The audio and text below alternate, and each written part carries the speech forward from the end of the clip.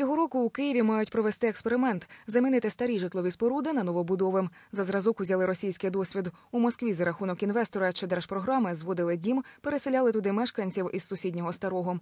Останні зносили, а на його місці будували новий. І так по ланцюжку. Реконструкція старих кварталів, на думку столичних архітекторів, дасть можливість отримати додаткові квадратні метри. Если сегодня у нас на, в таких кварталах, э, массивах проживает где-то 250 э, до 300 человек на гектаре, то нормативы наши сегодняшнего дня говорят, что в Киеве, э, в крупном городе 450 человек на гектаре это норма, но можно и больше в Киеве при достаточном обосновании. Если мы обосновываем все, что территория позволяет, есть ресурс для отдыха, для экологии и так далее, то можно построить и больше. Але якраз таких умов у Києві і не вистачає, кажуть фахівці. Столицю забудовано за нормами 1960-х років. Припустимо, що в одному районі має бути школа, дитячий садок, зелена зона та інженерні комунікації, які обслуговують певну кількість людей.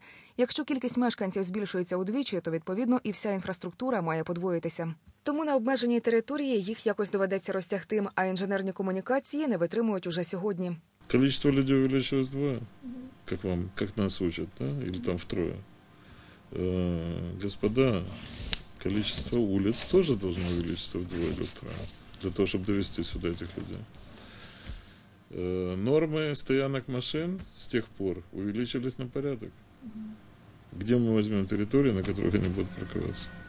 Тому реконструювати доведеться все й одразу. Експерти радять скористатися досвідом Німеччини. Там держава відремонтувала окремі будинки та використовує їх як соціальне житло. А отримані гроші можна буде спрямовувати на комплексну реконструкцію.